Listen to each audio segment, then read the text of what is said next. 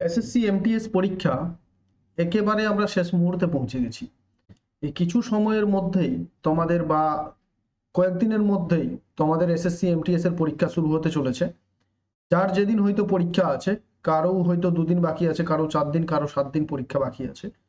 তো একেবারে শেষ মুহূর্তে এসে তোমাদের প্রত্যেকেরই এই সময় মাথায় টেনশন কাজ করবে যে পরীক্ষাটা টেনশনটা কাজ করার অর্থ হচ্ছে, তোমরা যেহেতু পাস করতে চাও তার জন্যই তোমাদের মাথায় টেনশন যেহেতু চাকরিটা পেতে চাই, পেতে চাও, তাই তোমাদের মাথায় বিভিন্ন রকমের চিন্তা আসবে, বিভিন্ন টেনশন আসবে যে পারবে কি পারবে না, বা কি করতে হবে শেষ মুহূর্তে যে চাকরিটা যদি আমাকে পেতেই হয় তাহলে।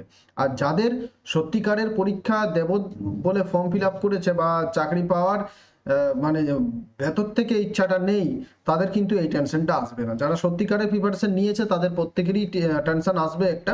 তো আসাই স্বাভাবিক। দেখো, আমরা এমনকি মাধ্যমিক এইচএস এর যখন বোর্ড পরীক্ষা দিতাম, তখনও কিন্তু আমাদের মাথায় টেনশন আসছে। আর এটা তো হচ্ছে জীবনের ব্যাপার। এখানে তো টেনশন আসবেই। তো শেষ মুহূর্তে এসে তোমরা কি করবে? আর কি করবে না? তো প্রথমেই তো দেখো তোমাদের, আমি সব কিছুই বলব তোমাদের। দেখো যেমন ইংলিশ এবং ম্যাথ, ইংলিশ এবং জেনারেল স্টাডিজ, আর এদিকে হচ্ছে ম্যাথ এবং রিজনিং, সবকিছুই বলব যে পরীক্ষার হলে তোমরা কি করবে, কোথায় কি করবে, সেগুলো সব আলোচনা করব। প্রথমেই তোমাদের দেখো যে কত নাম্বার আছে তোমাদের ইয়ে থেকে? চল্লিশ নাম্বার আছে, তাই না? ম্যাথ এবং রিজনিং। ম্যাথ এবং রিজনিংটা যদি তোমাদের দেখো, তাহলে তোমাদের চল্লিশ নাম্বার পরীক্ষায় আছে। চল্লিশটা প্রশ্ন থাকবে, চল্লিশ নাম্বার নয়, চল্লিশটা প্রশ্ন থাকবে। এটা ইউআর ক্যাটাগরির ক্ষেত্রে বারোটা প্রশ্ন করে দিলেই তোমাদের ঠিক হয় তোমরা এখানে পাস করে যাচ্ছ। এসসি এসটি ওবিসিদের জন্য কিছু কম করতে হবে, সেটা তোমরা জানো কত কি করতে হবে সেটা। তো দেখো, পরীক্ষার হলে তুমি এখান থেকে যে সময়টা পাচ্ছ, সেই সময়টাতে কি তুমি বারোটা প্রশ্ন করে আর চুপচাপ বসে থাকবে? তো বারোটা প্রশ্ন যখনই তোমার ঠিক হয়ে গেল, বুঝতে পারছ। কিন্তু যতগুলো ম্যাক্সিমাম প্রশ্ন করতে পারবে ততগুলো কিন্তু করার চেষ্টা করবে, মনে রাখবে, এই যে, এই দুটো পেপার এখানে কিন্তু তোমাদের নেগেটিভ মার্কিং নেই, ঠিক আছে? তো তাহলে তুমি যতগুলো করতে পারবে, তুমি কিন্তু নেগেটিভ হবে না। আর যখন বুঝে গেছো যে আমার হ্যাঁ কুড়িটা কনফার্ম হয়েই গেছে, কুড়িটা একেবারে কনফার্ম ঠিক হচ্ছেই তখন যদি তোমার হাতে লাস্ট যদি দশ মিনিট সময় তখনও বেঁচে থাকে, সেই সময়টা কি করবে? একটু নিজেকে শান্ত থাকবে রিল্যাক্স হওয়ার চেষ্টা করবে যেহেতু পরবর্তী সময়ে আরও তোমাদের পঁয়তাল্লিশ, পঞ্চাশ মিনিটের আরেকটা পরীক্ষা দিতে হবে, যেটা হচ্ছে ইংলিশ এবং জেনারেল স্টাডিজের যে পরীক্ষাটা আছে তারপরই মে- এই ম্যাথ রিজনিং পরীক্ষাটা শেষ হয়ে গেলেই ইংলিশ এবং জিএস এর পরীক্ষাটা তোমাদের শুরু হবে। তো সেই পরীক্ষার জন্য তুমি হাতে দশ মিনিট সময় এদিকে রেখে নাও। সেই দশ মিনিট সময়ে তুমি নিজেকে রিল্যাক্স করো চিন্তা ভাবনা করো, সমস্ত যা যা পড়েছো সেগুলো মাথার মধ্যে সমস্ত কিছু নিয়ে এসো। কারণ এই যে ইংলিশ এবং জিএস এর পরীক্ষাটা, এই পরীক্ষাটাই হচ্ছে তোমার জীবনে চাকরিটা নির্ধারণ করবে।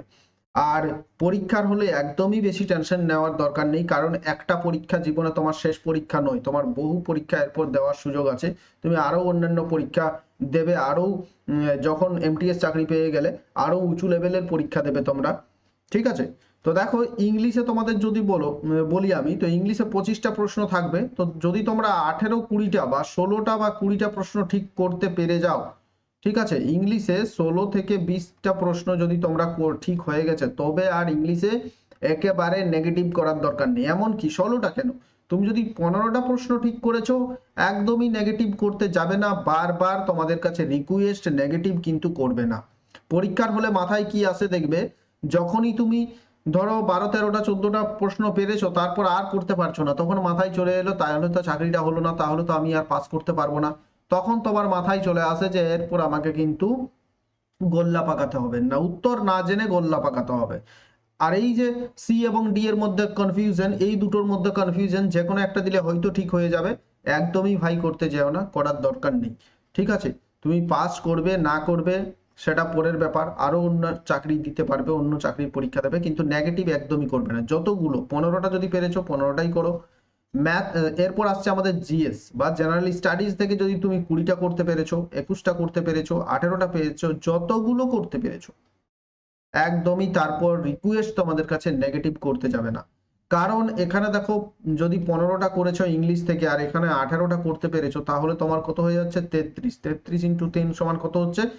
নিরানব্বই, একশো নম্বর চলে যাচ্ছে। আর নেগেটিভ হলেই কি হয়?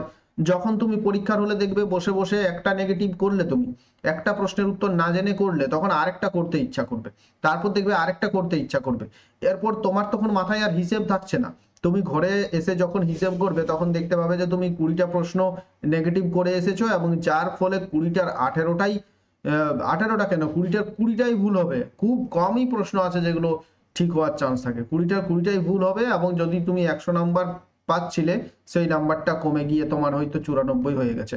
এক নাম্বারের জন্য হয়তো তুমি ফেল করে গেছো। তো নেগেটিভ বারবার রিকোয়েস্ট নেগেটিভ একদমই তোমরা করবে না। আর শেষ মুহূর্তে জেনারেল স্টাডিজের এই যে অ্যানালাইসিস ভিডিওগুলো অ্যানালাইসিস ভিডিও অর্থাৎ একটা তোমার ধরো সেকেন্ড শিফটে পরীক্ষা আছে, বা পরের দিন পরীক্ষা আছে, বা দুদিন পরে পরীক্ষা আছে, তো অ্যানালাইসিস ভিডিওগুলো একদমই প্রত্যেকেই দেখবে। কারণ কেন? এই লাস্ট যে দু হাজার বাইশ সালের পরীক্ষাটা হলো, সেখানে আমরা কি দেখলাম অ্যানালাইসিস ভিডিওতে ফার্স্ট শিফটে যদি ধরো কি থেকে, একটা আমি যে কোনো রাজ্যের নৃত্য থেকে বলছি, সেখান থেকে যদি নৃত্য বা ডান্স বা যে ধ্রুপদী নৃত্য থেকে প্রশ্ন ছিল, তাহলে পরের দুটো শিফটেও কিন্তু সেই একই প্রশ্ন দেখতে পাওয়া গেছে। তাই তোমরা ধরো পরীক্ষার হলের আগে পৌঁছে গেছো, তো অ্যানালাইসিস ভিডিওটা একটু সেই সময়টাতে দেখে নিও। আর হচ্ছে কি হিস্টোরিতে কি পড়বে তোমরা? এই সাল টাল অত মনে রাখার দরকার নেই। সাল থেকে খুব কম প্রশ্ন আসছে। মেডিয়েভেলটা একটু পড়বে তোমরা এবং আধুনিক ভারতের ইতিহাসটা পড়বে। সেখান থেকে প্রশ্ন আসছে। জিওগ্রাফি থেকে তোমরা কি করবে? ওয়ার্ল্ড জিওগ্রাফিটা পড়ে নেবে। সোলার সিস্টেমটা ভালো করে পড়বে। সোলার সিস্টেম থেকে প্রচুর প্রশ্ন। ইন্ডিয়ান রিভার থেকে প্রশ্ন আসে অনেক। তো এই কয়েকটা বিষয় আছে ভূগোলের। সেই বিষয়গুলো পড়ে নেবে। কারেন্ট অ্যাফেয়ার্স তোমাদের আমি যে কারেন্ট অ্যাফেয়ার্সগুলো করিয়েছি দুশো চল্লিশটা কারেন্ট অ্যাফেয়ার্স আমি তোমাদের করিয়েছি। সেই দুশো চল্লিশটা কারেন্ট অ্যাফেয়ার্সই করো। সেই দুশো চল্লিশটি কারেন্ট অ্যাফেয়ার্স আমাদের জানুয়ারি থেকে জুন, জুলাই পর্যন্ত কারেন্ট অ্যাফেয়ার্সগুলো আমি তোমাদের করিয়েছি। তো আশা করছি এর মধ্যে তোমরা কমন পাবে। আর যদি আগের থেকে এর থেকে বেশি তোমরা করে রেখেছো, তো খুবই ভালো। আর যদি আগের থেকে বেশি প্রশ্ন করা নেই তোমাদের, তো এই দুশো চল্লিশটা করে যাও, এখান থেকে আশা করছি পাবে। ঠিক আছে?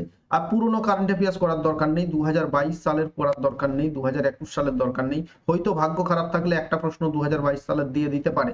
কিন্তু বেশিরভাগ চান্সটা তোমাদের হচ্ছে দু সালের একদম রিসেন্ট কারেন্ট অ্যাফেয়ার্স থেকে প্রশ্ন।